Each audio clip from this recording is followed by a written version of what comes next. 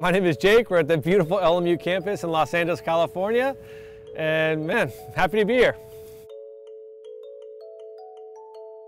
I graduated in 2003, which seems like forever ago, but I had the opportunity to walk on the basketball team my freshman year.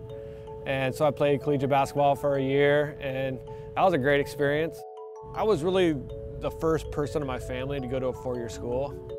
To come back here and like know that this is where my launching pad was and how much my education gave back to me, the experiences and how valuable it was. I mean, it really comes full circle when I'm here.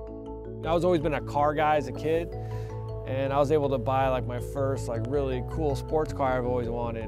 When I got the car, one of the first decisions I, I made was to try to protect it for the long run, you know? And you want to protect the paint, Cilajet was one of the first products I really, really dove deep on research-wise. And after speaking with the people there, learning a lot about the product, eh, I just pulled the trigger. It was a no-brainer. And also, they use it on aircraft and watercraft and like yachts and stuff.